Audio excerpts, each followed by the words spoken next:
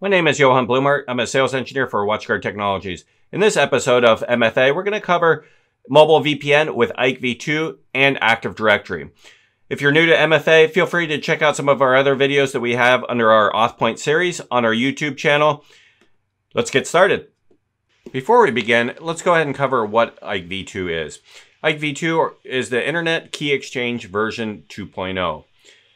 It was jointly developed by Microsoft and Cisco. It is natively supported by Microsoft since Windows 7. It's also covered by, included by Mac, iOS devices, and many more. It offers many pros. It's fast, it's stable, especially when switching network or reconnecting after a lost internet connection. Because of this, it's also highly resilient to changing networks. This makes Ike v2 a great choice for cell phone users who regularly switch between home Wi-Fi and mobile VPN or mobile connections, or who regularly move between hotspots. It's secure with AES, that's Advanced Encryption Standard, and it's easy to set up on the user side. So how do we actually begin? To use Ike v2 encryption, we will use the latest Microsoft version of the Challenge Handshake Authentication Protocol, CHAP, otherwise known as MS CHAP v2.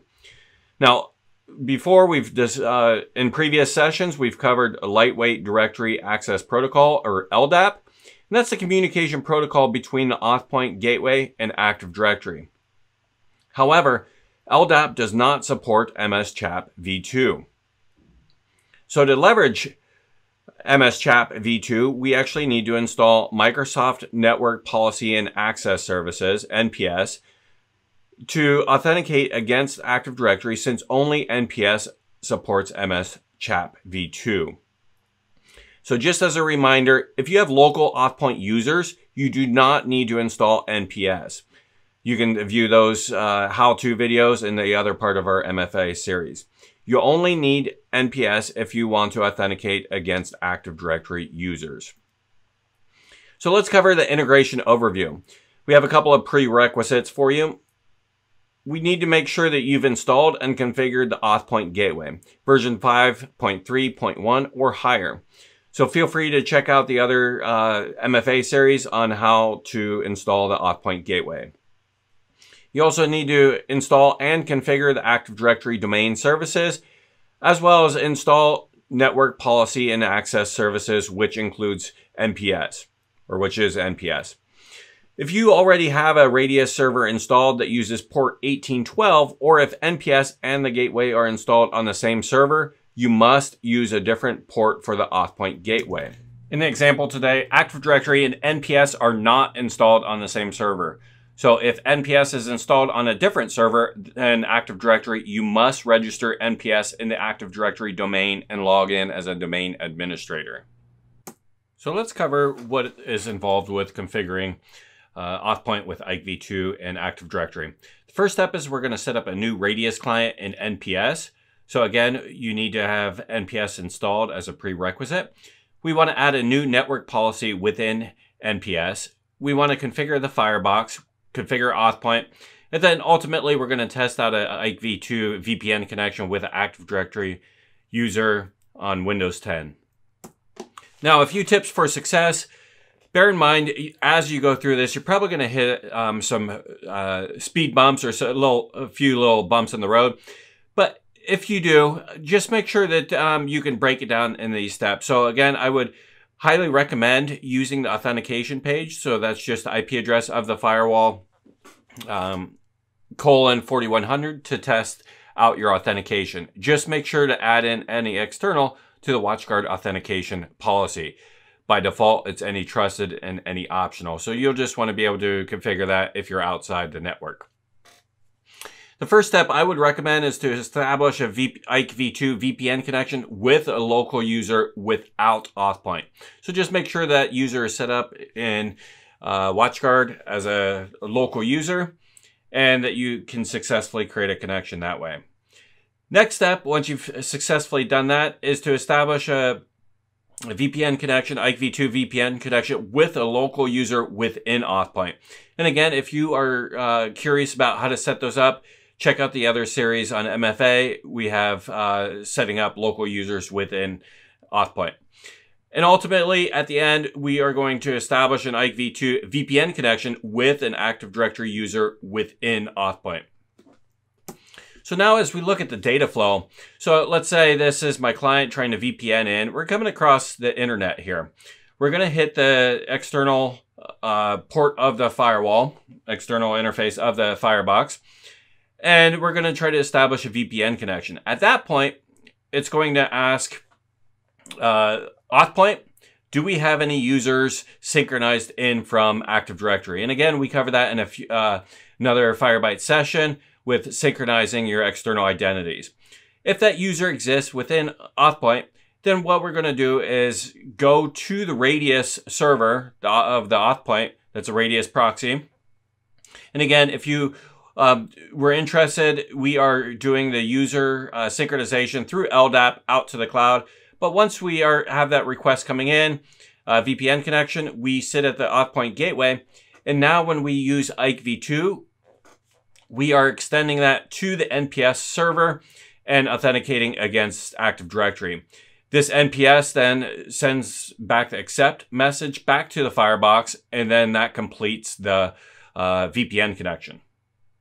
So let's go ahead and dive in and take a look at how that's set up. Let's configure the Microsoft NPS server. So now that I'm at my network policy server screen, I want to expand Radius clients and servers. Click on Radius clients and right click and click on new.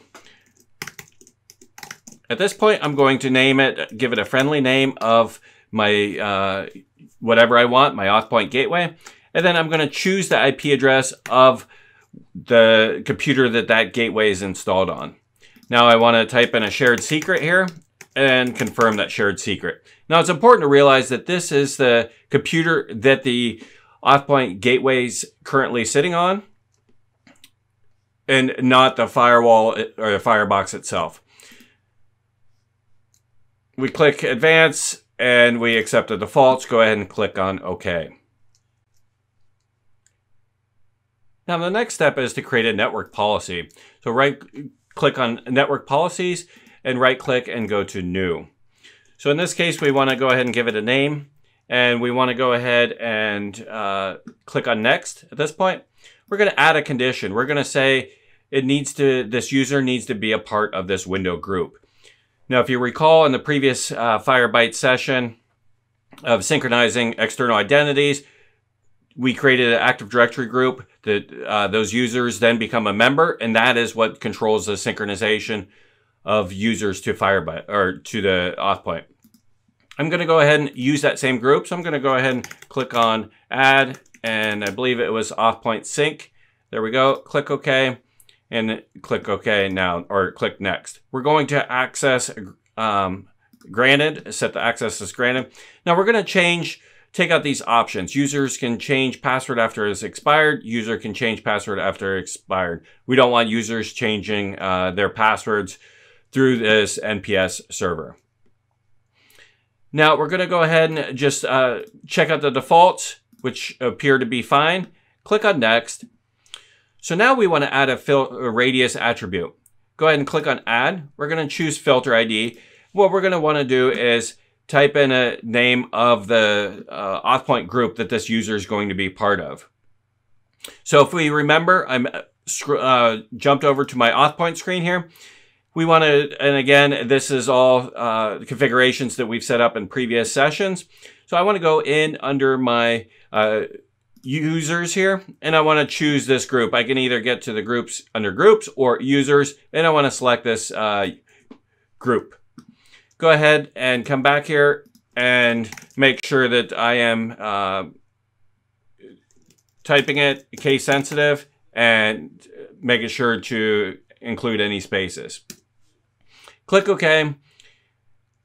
Click close. And now we should be good to go. Click next and finish. Now what we want to do is just drag this up to the top. So we can say move up until it's processing as one. Processing order is one. We make sure it's grant access and we should be good to go at this point. So let's pivot to the Firebox and let's go under authentication, and click on servers. So at this point, we're going to want to click on Radius and set up a new Radius server. So let's go ahead and make sure that uh, we are unlocked so that we can make changes. Click on Add. Now I'm going to go ahead and type in uh, the name of AuthPoint in here. And now I'm going to type in the IP address of the computer that I've installed the gateway onto. I'm going to leave the default port of 1812. Now keep in mind that if you have NPS and AuthPoint running on the same server, you're going to have a port conflict, so you're going to need to customize that.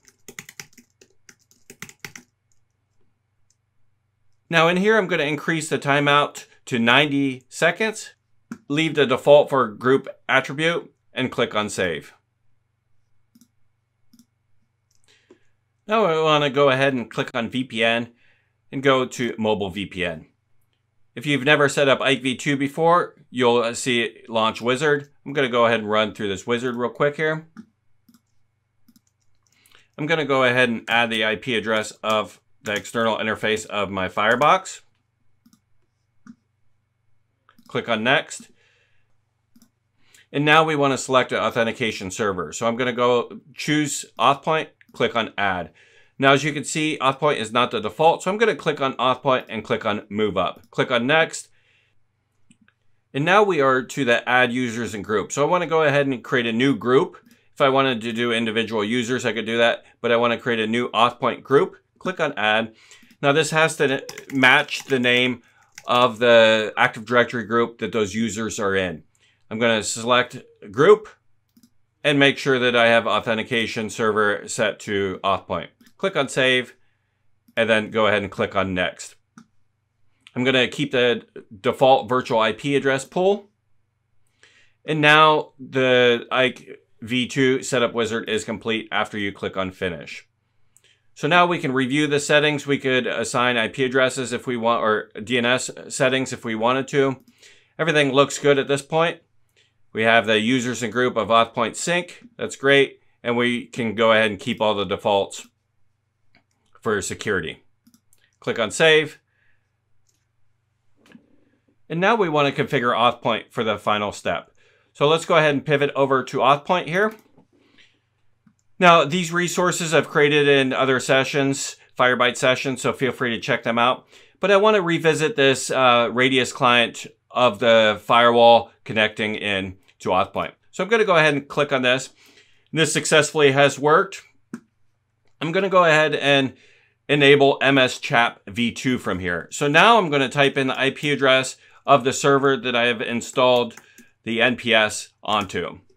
I'm going to keep the default port of 1812 since I have two different servers for NPS and AuthPoint uh, gateway. And then I'm going to set a timeout of 30 seconds. So now we can click on save. Now the next step is to go into groups and make sure that we have an access policy. So go ahead and select your group. And as you can see here, we do not have an access policy to reach uh, the radius or for the radius client to reach the AuthPoint gateway. So we're going to go ahead and click on add policy. We're going to choose radius client, select require password. And as you can see here, the only option is a push notification for our users. Click on add. Now we want to go ahead and make sure that we click on save here. So now I'm going to switch over to my client computer running Windows 10, and I'm going to log into the firewall and download that uh, configuration for Ike v2. Click on Accept. And then I'm going to go ahead and click on VPN, Mobile VPN, and I'm just going to unlock it so that I can download that client profile. Once that client profile has downloaded, I'm going to go ahead and extract that. So click on Downloads. We're going to go in and use 7-zip to extract, extract files. And that gives me one more tar to uh, extract.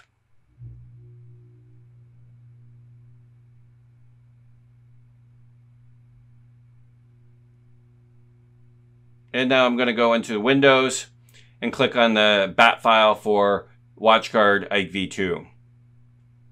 This is going to set up the certificate as well as the profile for the VPN.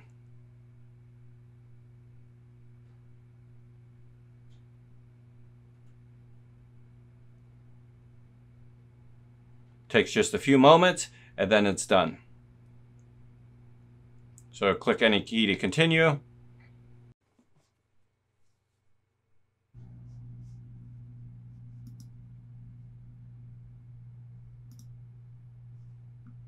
All right, so let's go ahead and bring over my phone here.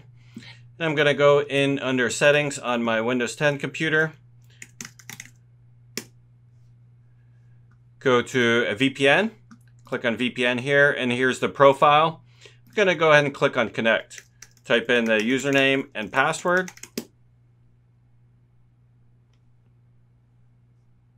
And now it says, are you trying to sign in? Go ahead and click approve sends a response back to AuthPoint, and that is reflected to the Firebox, and it completes your connection.